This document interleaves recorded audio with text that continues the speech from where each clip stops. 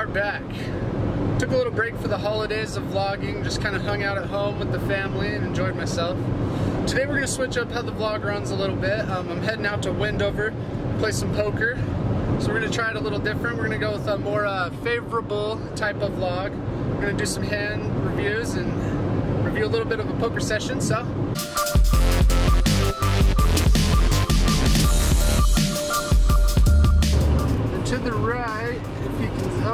focus in, is a quality place to go shooting.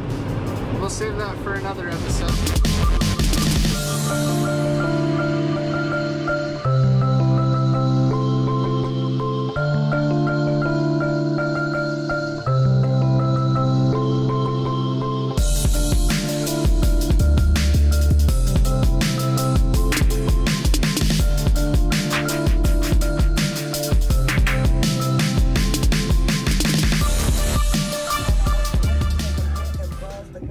The good old Peppermill. Home casino. As much as I would love to not call it that. We'll get it give it a proper proper looking.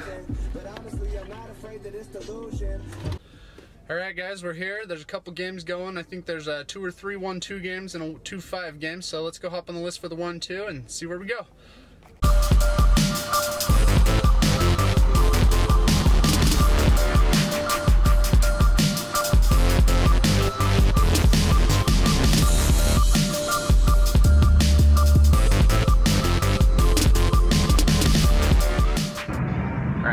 Called the seats for the 2-5. We're going to jump in the 1-2, but some 1-2 seats are going to open up because a bunch of the players are 1-2 are going into the 2-5 game. So we're going to buy in for 200 let's see what we can earn it up to. First hand of the session, we pick up Ace-5 off in the big blind.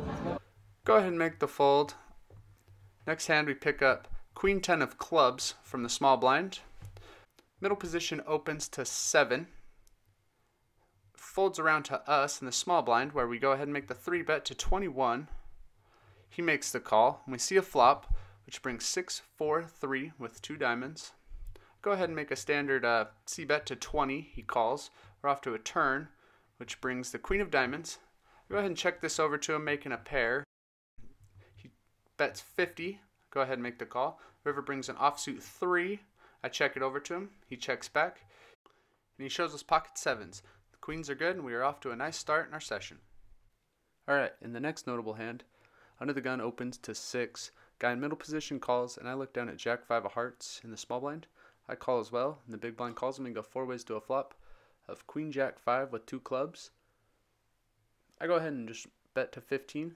Big blind raises to 25. I call, and under the gun plus 1 calls. We go to a turn. That's the 8 of hearts. I check, and it checks through.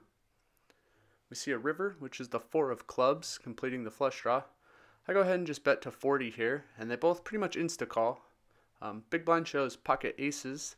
Under the gun plus one shows us the good old 6-7 for a river straight. I'm not really sure if I like the call on the flop. I think I kind of let 6-7 get there on the river. Um, I think I should probably re-raise there and go for value, but it's a learning experience at 1-2. What can we say?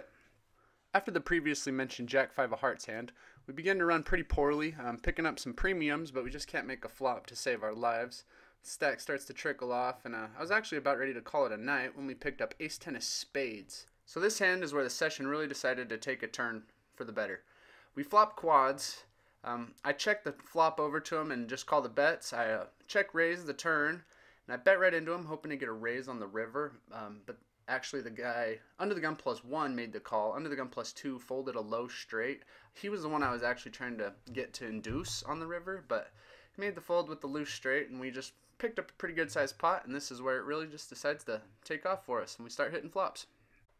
In the next hand i was able to take notes on. Under the gun plus one opens to 10 i'm in the hijack with ace jack of spades. Go ahead and make the call. The button and the blinds also call so we're four ways to a flop which comes 9 7 3 three spades. The big blind leads for 25. I flat with the absolute nuts, just hoping to not rip anyone off their hand or any king king high flush draws. Cutoff goes ahead and rips it for 60. Big blind calls, and I just decide to flat this for the same reasons. Turns the offsuit 5. And here the big blind just decides to check it over. I rip it in, and uh, he makes the fold.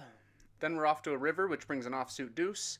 Guy that shoves shows pocket nines for a flop set, which is no good to our nutted flush. And we scoop that one and another positive hand in the session for us. It's actually the last one I was able to take notes on. And from here we were able to chip up our stack, making a couple good calls on uh, questionable boards, but uh, I thought I had some good reads um, on a player that was getting tilted by the drunk player, so ended up working out for us, and we booked a win for the day.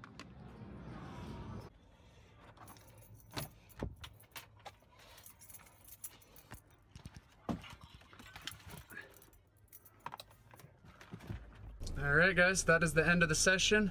It's a good day. We battled back. We were stuck pretty much the whole session. We really caught a hot streak at the end to get above. And we'll see how this first poker related vlog goes. Uh, we had a winning day, so let's get on that two hour drive home.